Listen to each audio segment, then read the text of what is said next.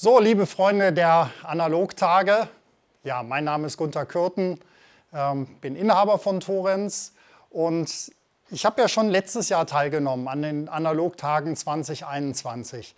Das Feedback, muss ich sagen, war wirklich sensationell. Teilweise haben die Videos über 20.000 äh, Aufrufe bekommen und das hat uns natürlich motiviert, da auch weiterzumachen. Und ich habe schon überlegt, Mensch, was machst du denn dieses Jahr? Weil wir haben ja doch viel gezeigt letztes Mal.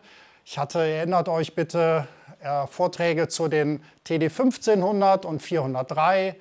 Wir haben einen Vortrag äh, zur Einstellung des Subchassis gemacht beim TD 1500 im Vergleich zum TD 1600.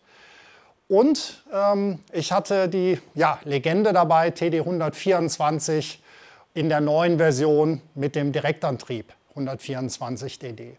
Also insofern habe ich mir gedacht, verdammt nochmal, Gunther, was wirst du denn jetzt dieses Jahr präsentieren? Und ich habe mir gedacht, Leute, es gibt ja nicht nur High-Ender. Es gibt nicht nur Leute, die jetzt ein paar tausend Euro in einen Plattenspieler investieren wollen.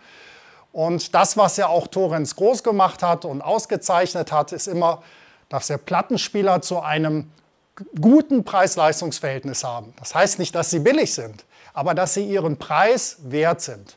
Und da haben wir eine Neuheit, das ist der TD 204 ähm, mit Riemenantrieb und dieser 204, den werde ich euch heute zeigen. Ich gehe mal hinter meinem Pult.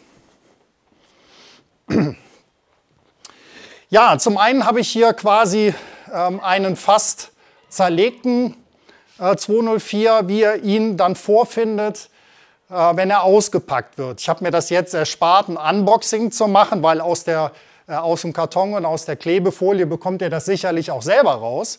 Aber hier sind jetzt alle Einzelteile und ich werde euch zeigen, wie installiert man das denn auf dem Plattenspieler, wie stelle ich den Tonarm ein, was sind die Besonderheiten, wo, wo muss ich drauf achten.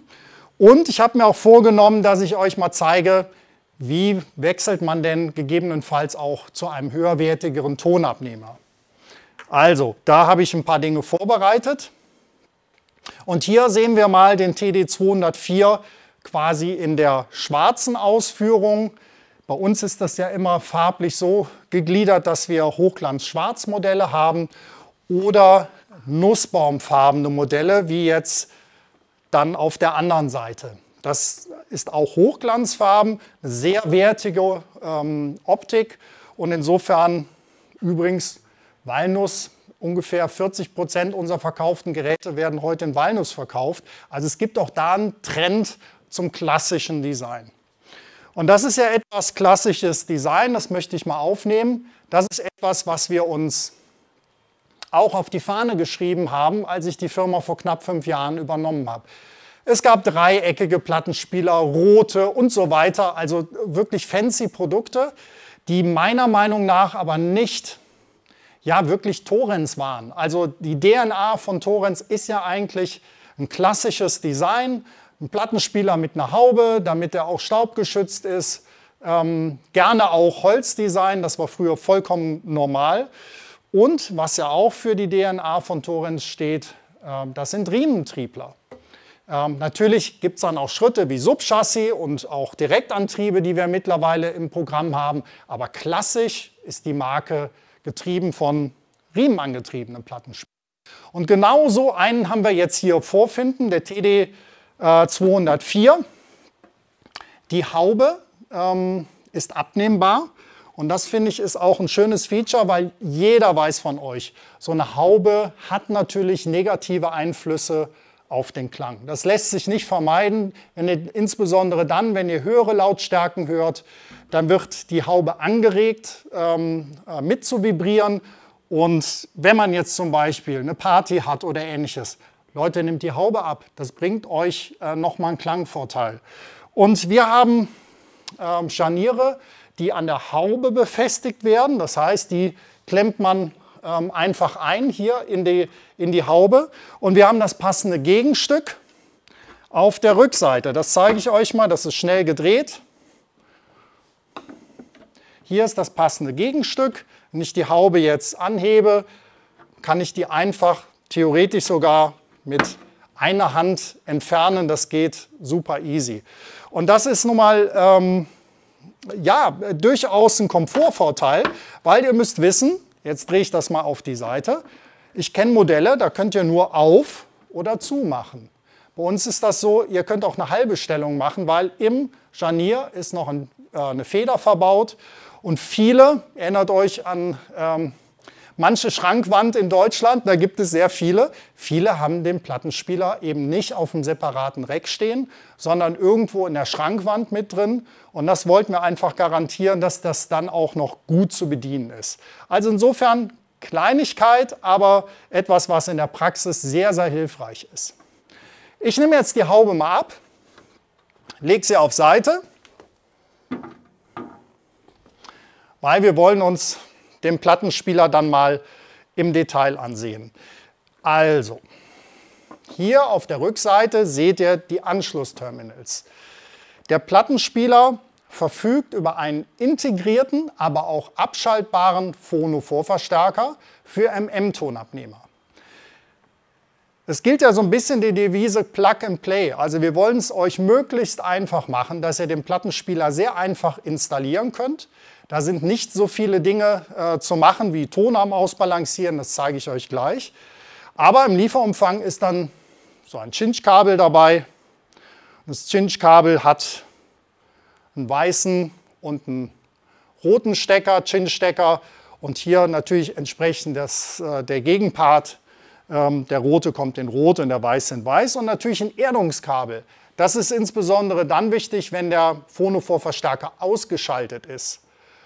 Solltet ihr ähm, einen Verstärker haben zu Hause, wo kein Plattenspielereingang, also kein expliziter Phono-Eingang drin ist, dann könnt ihr den, das ist ja der Vorteil, könnt ihr den integrierten äh, Phonophore-Verstärker nutzen und könnt dann über einen Line-Eingang gehen. Also das kann AUX sein, das kann CD sein, Tape, wie auch immer die heißen mögen, also ein Hochpegeleingang.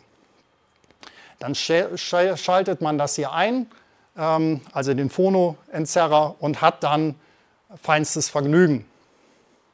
So, schauen wir uns mal den Plattenteller an. Das ist ein Aluminium-Druckgussteller, den wir zusätzlich gedämpft haben. Also hier drum ist nochmal ein, ähm, ein entsprechender Ring, der dafür sorgt, dass der Plattenteller möglichst ruhig ist. Das ähm, ist natürlich klar, dass so ein Plattenteller auch angeregt wird vom Schall. Und äh, Ziel ist es, dass der Plattenteller ähm, nicht wie eine Glocke klingt. Und äh, ich habe schon gesehen, dass manche ja, den ganzen Innenbereich mit Gummi auslegen. Das ist gar nicht mal so effektiv. Also wir haben auch die Versuche gemacht, sondern die Schwingung entsteht am Außenrand, so wie bei einer Glocke auch. Und der Plattenteller muss außen ähm, gedämpft werden. Das ist bei dem Plattenteller quasi schon mit drin. Und natürlich wird der Plattenteller dann durch die Gummiauflagematte auch nochmal vollflächig abgedämpft. So, einige tun sich schwer beim Auflegen des Antriebsriemens. Wir haben auch schon Kundenanrufe gehabt, die gesagt haben, der Plattenspieler läuft nicht. Ja, klar, wenn er nicht läuft, erstmal bitte prüfen, ist der Netzstecker richtig drin und das Netzteil richtig zusammenmontiert und ist der Antriebsriemen auf dem Motorpulli aufgelegt. Und hier kommen wir schon mal zu einer Besonderheit. Ihr seht, wir haben hier zwei Löcher im im Teller.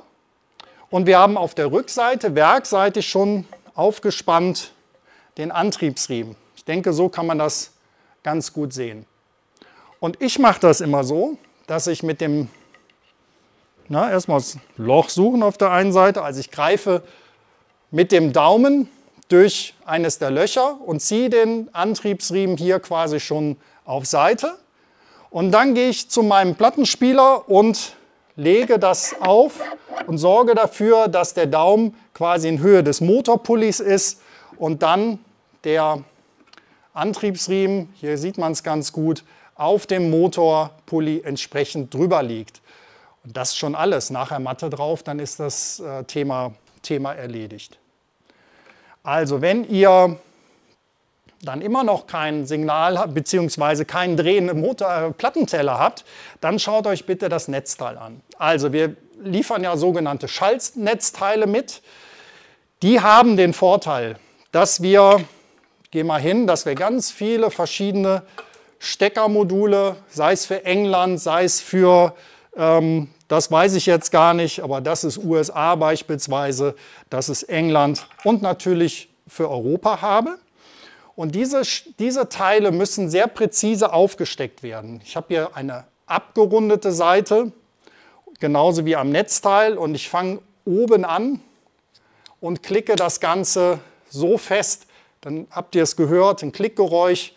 Und dann ist auch wirklich Kontakt da. Wir haben leider Kunden, die stecken es dann irgendwie so auf und dann sieht das so aus und da ist natürlich keine Spannung, ähm, die übertragen werden kann. Also ist keine Raketenwissenschaft, kriegt ihr alle hin. Das lege ich jetzt mal auf Seite. Ich habe mir vorgenommen, dass ihr ein bisschen auch lernt, wie der Plattenspieler zusammengesetzt wird. Und dafür nehme ich die Matte in dem Fall nochmal ab, weil jetzt geht es ja darum, den Plattenspieler ähm, erstmal ja, hier vom Tonarm her einzustellen. Und wir haben hier im Lieferumfang eine Headshell mit sogenannten SME-Anschluss. Das heißt, das ist eine gerade Headshell mit einem Bajonettverschluss. Und dieser Bajonettverschluss ist hier am Arm. Das heißt, dadurch, dass wir einen J-förmigen Arm verwenden, haben wir die Möglichkeit, diese gerade Headshell drauf zu machen und nicht eine ähm, gebogene Headshell bzw. Ecke über Eck äh, Headshell, so wie wir das beispielsweise bei dem kleinen Modell TD202 haben. Und jetzt ist es wichtig, dass ihr erstmal dafür sorgt, die, wichtige, die richtige Auflagekraft am Tonarm einzustellen. Ich selber mache das so, dass ich den Plattenteller noch gar nicht drauf habe, weil ich dann einfach mehr Möglichkeiten habe, mehr Platz habe hier, um die Auflagekraft einzustellen. Und das Ganze funktioniert erstmal so, dass ich die, die Headshell nehme. Also ihr braucht den nicht hochnehmen. Ich will es nur für die Kamera leichter machen. Und ihr den Bajonettverschluss quasi hier einsteckt, das verriegelt. Und dann ist schon mal ähm, der Tonabnehmer bzw. die Headshell mit Tonabnehmer richtig montiert. Werkseitig haben wir hier einen Audiotechnica AT95E verbaut, also ich sag mal eine solide Grundklasse. Der Überhang ist werkseitig eingestellt. Wie man das kontrolliert, zeigen wir aber gleich auch noch mal im Detail. Und jetzt geht es darum, und dafür nehme ich den mal so auf Seite, dass wir das Gegengewicht richtig einstellen. Und hier im Gegengewicht können wir sehen, dass wir hier eine Skala haben. Und wir können sehen, dass diese Skala auf dem Gegengewicht verdrehbar ist. So, ich verdrehe sie jetzt mal ganz bewusst, damit ich keinen vordefinierten Wert habe.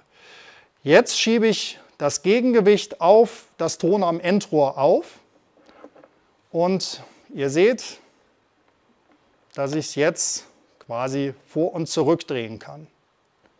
Jetzt bitte ich euch, wenn ihr das zu Hause macht, den Ton am Lift abzusenken, vorne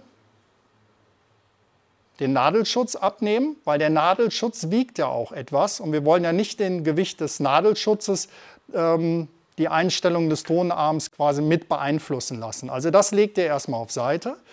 Jetzt müsst ihr natürlich ein bisschen vorsichtig sein, weil die Nadel frei ist. Aber äh, löst die Halterung und jetzt müsst ihr das, haltet das am besten am, am, an der Headshell ein bisschen fest. Und jetzt müsst ihr bitte hingehen und das Gegengewicht so lange drehen, bis der Tonarm schwebt. Jetzt ein bisschen zurück, noch ein bisschen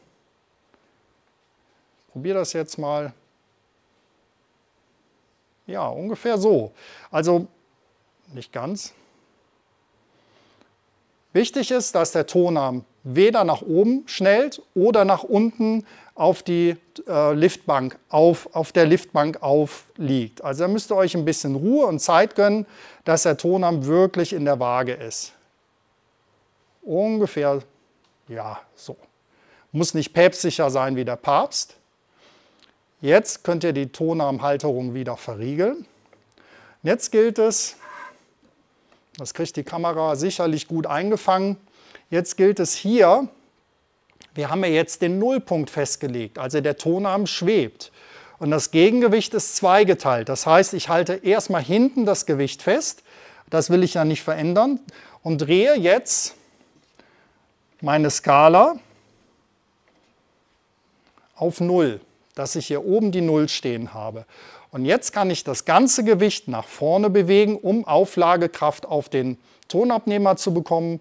Bei dem AT95E sind 2 Gramm Auflagekraft empfohlen oder 2 Pond, je nachdem, was man selber nutzt. Und ich drehe weiter, jetzt habe ich 0,5, jetzt habe ich 1. Ihr seht, wenn ich das Gegengewicht jetzt hinten drehe, geht die Skala mit. Und wenn ich hier oben die 2 habe, habe ich hier perfekt die Auflagekraft eingestellt. Man könnte das jetzt mit einer Tonarmwaage nochmal kontrollieren, aber wir haben viele Tests gemacht. Die Skala ist schon sehr, sehr gut. So, und dann habe ich ja noch das sogenannte Anti-Skating. Ihr seht hier auf der Seite dieses kleine Rädchen und dieses kleine Rädchen muss dann auch auf dem Wert von 2 Gramm eingestellt werden. Das ist der Bereich oder das ist, entspricht dann der Auflagekraft. Gut, Lift hoch ähm, und jetzt gilt es, den Teller drauf zu machen. Mit dem Trick, den ich euch eben gezeigt habe, Daumen quasi von oben durch, ähm, durch den Teller und den Antriebsriemen dann hier hinten auf den Motorpulli führen. Ihr könnt das Ganze nochmal kontrollieren, ob der, ob der Riemen da jetzt auch wirklich über, über den Motorpulli sitzt. Der sollte auch nicht verdreht sein, also seid da ein bisschen sorgsam. Und dann, wo habe ich die Auflage? Die Gummimatte, eine habe ich hier, Gummimatte drauf. Und dann ist das Gerät einsatzbereit. Klar, anschließen am Verstärker, so wie ich es eben beschrieben habe. Und los geht's. Wie ist jetzt so ein Plattenspieler aufgebaut? Dafür habe ich mir mal die Bodenplatte abgeschraubt. Den Teller lege ich mal auf Seite, den brauche ich jetzt nicht. Und jetzt müssen wir zusehen, dass ich das hier abkriege. Genau. Ich habe die Bodenplatte, übrigens die Bodenplatte hat zwei Löcher. Und die sind zum Feineinstellen nachher der Geschwindigkeit. Also wenn ich das jetzt mal von unten mir anschaue, so sieht der 204 von innen aus. Wenig spektakulär offen gestanden, das weiß ich, aber hier ist alles drauf, was man braucht. Hier ist die ähm, der Phonophore-Verstärker mit drin, hier weiter hinten die, der Chip, der für die Motorsteuerung äh, zuständig ist. Also alles hoch integriert auf einer Platine. Und hier seht ihr auch zwei kleine Potis. Das ist jetzt wirklich Expertenmodus. Man kann also durch die Bodenplatte mit einem kleinen, mit einem kleinen Schraubenzieher die Geschwindigkeit äh, nachregulieren, falls die mal aus dem Lot gekommen ist. Also entweder ein äh, Regler für 45 und der zweite für 33,3. Das macht man am besten mit einer Stroboskopscheibe. So eine Stroboskopscheibe ähm, gibt es im Zubehörhandel, auch bei uns im Shop unter torrens-shop.de. Und was man dazu braucht, ist lediglich ein künstliches Licht, was mit 50 Hertz ähm, flackert sozusagen. Eine normale Glühbirne, äh, die ihr drüber haltet und dann seht ihr anhand der, äh, der Striche auf der Stroboskopscheibe, ob das ein bisschen zu schnell ist, weil die Striche sollten stehen, optisch, wenn man, wenn man drauf schaut. Okay, ähm, kommen, wir, kommen wir mal zum Tonabnehmer. Auch hier, war damals mir jetzt einfach, der Kerl kommt nach unten, weil ich höre immer wieder von Leuten, dass der eingebaute Tonabnehmer, ja, da will man vielleicht nach einer gewissen Zeit, nach ein paar Jahren, sich auch mal verbessern. Und wichtig beim Einbau des Tonabnehmers, ich empfehle hier also einen MM-Tonabnehmer zu nehmen, kein MC in der Klasse, weil äh, wir ja hier auch einen eingebauten Phonophore-Verstärker haben, der nur für MM-Tonabnehmer aus, äh, ausgelegt ist. MC braucht eine höhere Verstärkung, äh, prinzipbedingt. Also insofern, wenn ihr aufrüsten wollt, ich habe jetzt mal beispielhaft ein Orthophon 2M Blue mitgebracht, dann könnt ihr den alten Tonabnehmer ausbauen und einen neuen verwenden. Ja, da habe ich jetzt zwei Schräubchen, eine leere, eine leere Headshell. Mal gucken, ob ich das vor der Kamera so mit äh, hinkriege. Das Schöne beim Orthophonsystem ist, man kann die Nadel abmachen, dann passiert auch nichts. Also obwohl hier äh, Nadelschutz drauf ist, die komplette Nadel abnehmen, dann habt ihr quasi einen nackten Tonabnehmer und ihr seht hier hinten drauf farbliche Markierungen. Bis auf das Silberne hier, das ist grün in dem Fall. Das haben die Autophon-Leute nicht nochmal grün markiert, aber die anderen weiß, rot, blau, grün. Und genau die gleichen Kabel findet ihr farblich an der Headshell. Und jetzt geht es darum, das draufzuschrauben. Das Schöne ist, die meisten Tonabnehmer heute haben schon ein Gewinde integriert im Tonabnehmer selber. Und was ich brauche, ist ein kleiner Schraubenzieher. Dann gehe ich schon mal hin, montiere das hier drauf. Wie gesagt, live ist das immer ein bisschen anders, als wenn man das am, im Sitzen macht, an der Werkbank.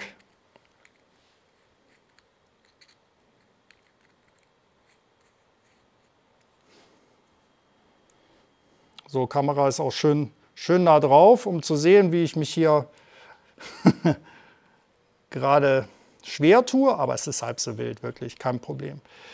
Jetzt schraube ich die Schrauben noch nicht fest, weil ich muss ja auch noch den Überhang einstellen. Aber jetzt, und das ist wirklich mein Tipp für euch, Leute, diese Zange der Firma Knipex ist die beste Zange zum Installieren von Tonabnehmern ever. Das ist die Typenbezeichnung oder Artikelnummer 3542 115. Weil diese Zange ist zum einen ist eine kleine Schnabelzange, die ist hier vorne gebogen und die hat innen drin eine glatte Oberfläche.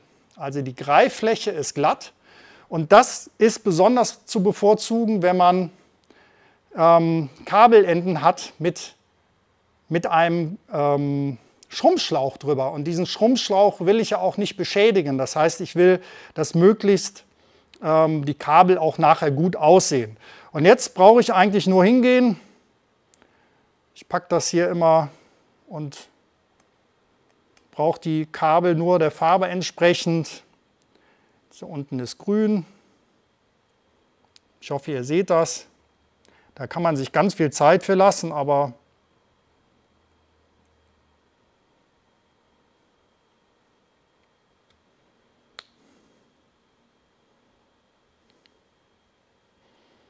So, jetzt seht ihr, die Kabel sind drauf.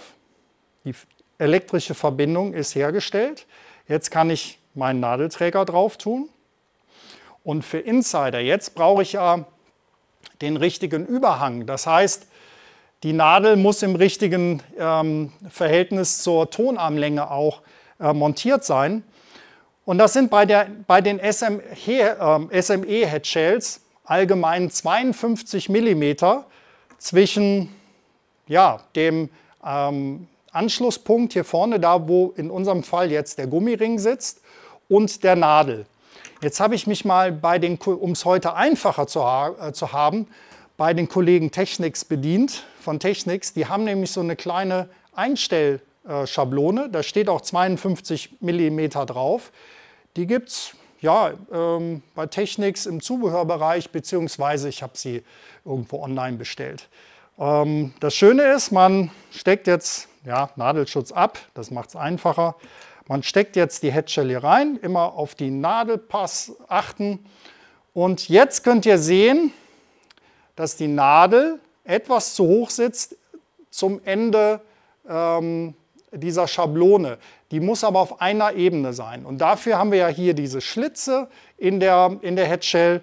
Die Nadel schraube ich oder die Schrauben löse ich etwas, damit ich die Nadel nach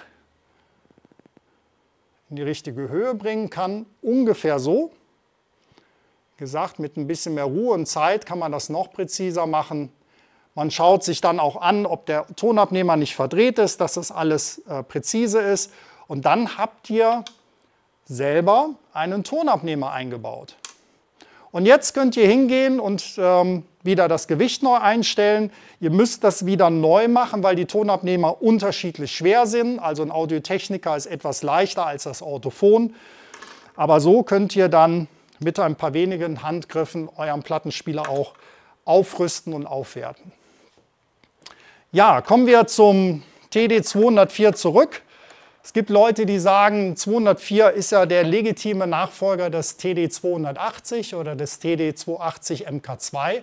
Das war eines der erfolgreichsten Modelle von Torrens in den, ich glaube, 80er Jahren. Und wir haben jetzt, denke ich, einen legitimen Nachfolger für den ähm, 280er gefunden. Der Plattenspieler kommt ab Dezember noch vor Weihnachten in den Markt und wird 799 Euro kosten. Zu finden im Fachhandel. Insofern äh, hoffe ich, dass es euch was äh, gebracht hat und ihr jetzt wisst, wie ihr so einen Plattenspieler installiert. Möglichst schnell und einfach. Und ich wünsche euch jetzt noch viel Spaß bei den Analogtagen. Wir sehen uns später noch wieder mit unserem Vorverstärker.